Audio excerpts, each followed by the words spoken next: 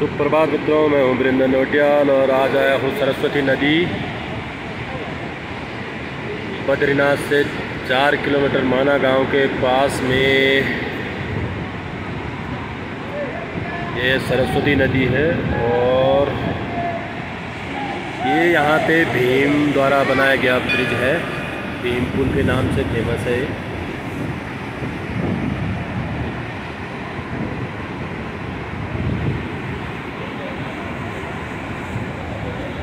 यहाँ पे सरस्वती माता का मंदिर।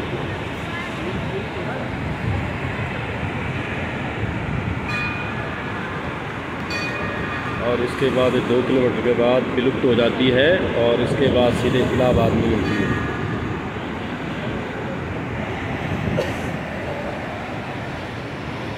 और इसके ऊपर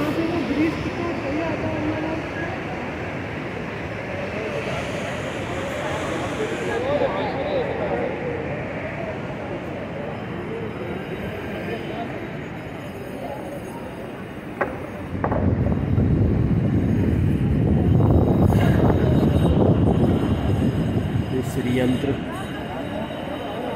पर्वत।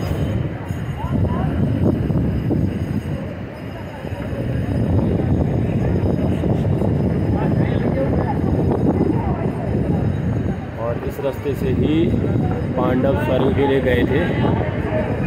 इसके आगे वसुंधरा फॉल और स्वर्गरोहिणी और ये माँ सरस्वती का यहाँ पे शांत स्वरूप।